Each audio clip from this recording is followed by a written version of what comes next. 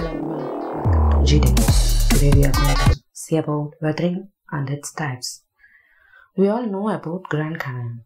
Do you know how it formed? It all because of weathering. Let's get into the video. First we see what is weathering. Breaking down even the most solid of rocks and minerals into smaller bits is weathering or simply we can say crucial process in the rock cycle that helps shape earth's surface and create soil. Next one, types of weathering. There are three types of weathering, namely physical, chemical and biological. And these three are further classified into this many. We'll see in this detail. First, physical weathering. Breakdown of rocks and minerals into smaller pieces without changing their chemical composition. Let's see the factors that cause physical weathering are water, ice, pressure, temperature, wind. First type frost wedging. Water enters into the crack in rocks, freeze, and then expands, causing the rocks to break apart. Look at the simple explanation. You can see the crack and water entered into the crack, then it freeze and become expand. And frost wedge is commonly seen in the mountainous region where temperature fluctuates around the freezing. And here the arrow point out the wedging pattern. Known as exfoliation, the layers of rock peel off due to the reduction in pressure as overlying materials are removed, like an onion peel. Look at the mountain, we can see the exfoliation. Next one is thermal expansion. Repeated heating and cooling cause the rocks to expand and contract, leading to cracking. Mainly, this kind of thermal expansion happens in deserts, where temperature variations between day and night are extreme. Just look at the rock in the desert. Next, abrasion. Rocks are worn down by friction and impact with other rock particle carried by wind, water or ice. We usually see smooth pebbles and cobbles where these kind of rocks are visible in riverbeds because of the constant flow of water. Before going further, please do like and subscribe. Weathering. So breakdown of rocks through chemical reaction altering their mineral composition. The factors that cause the chemical weathering are air, that means oxygen and carbon dioxide, water, acid. The first one is oxidation. Mineral, consider the colorful dot as the minerals in the rocks.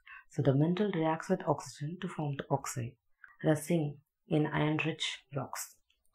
This reddish color due to the iron reacts with oxygen or water to form the iron hydroxide or rust. Next one is hydrolysis.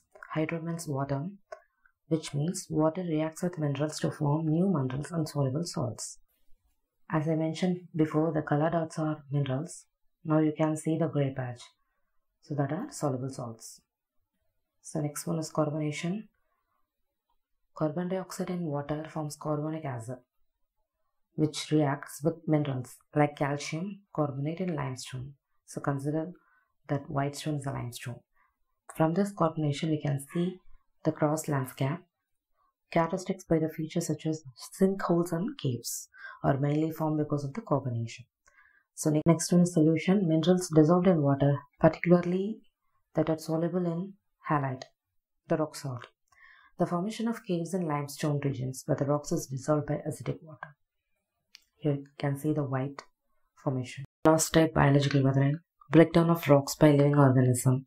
The factors which cause the biological weathering are trees, plants, microorganisms, and animals.